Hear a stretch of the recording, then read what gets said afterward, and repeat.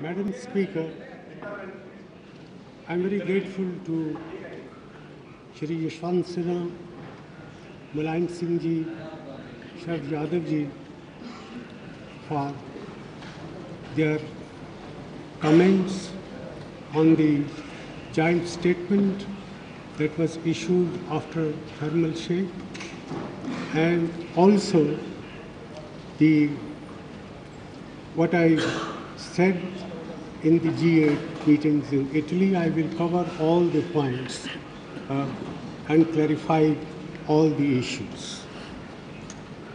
Madam Speaker, as I have said many times before, we cannot wish away the fact that Pakistan is our neighbor. We should be good neighbors. If we live in peace, as good neighbors do, both of us can focus our energies on the many problems that confront our people, our acute poverty, which afflicts millions and millions of people in South Asia.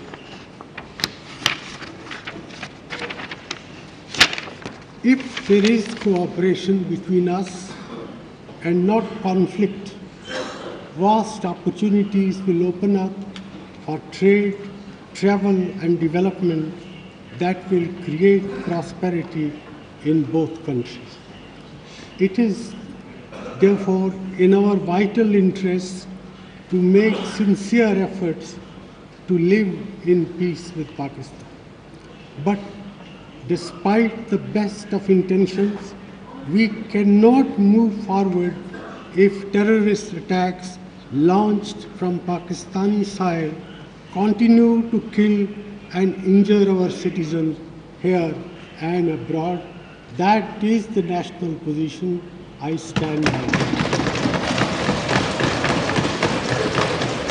Madam Speaker, I have said time and again, and I repeat it right now again, it is impossible for any government in India to work towards full normalization of our relations with Pakistan unless the government of Pakistan fulfills in letter and spirit the commitment not to allow its territory to be used in any manner for terrorist activities against India.